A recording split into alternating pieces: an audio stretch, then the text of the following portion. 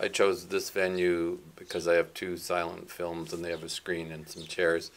I live down the street and I have a very large garden. For those of you who don't know the backyard, I've been working on it for about 20 years and the two pieces I'm showing relate to one another and I decided if I work with film that I like sort of two pieces uh, going at the same time because they have a dialogue.